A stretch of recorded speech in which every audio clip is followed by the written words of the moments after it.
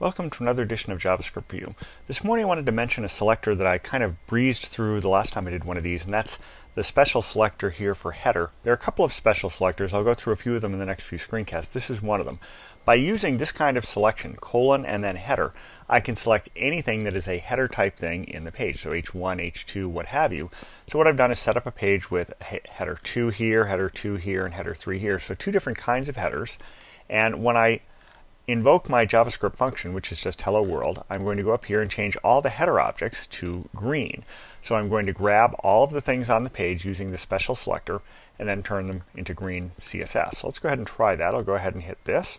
And you see all the headers turn green. So I was able to select just the headers regardless of what type they are. And this is because colon header is kind of a special selector in jQuery that allows you to go out and grab those. So we'll go through a couple more of these in the next few days. Until then, have fun with JavaScript.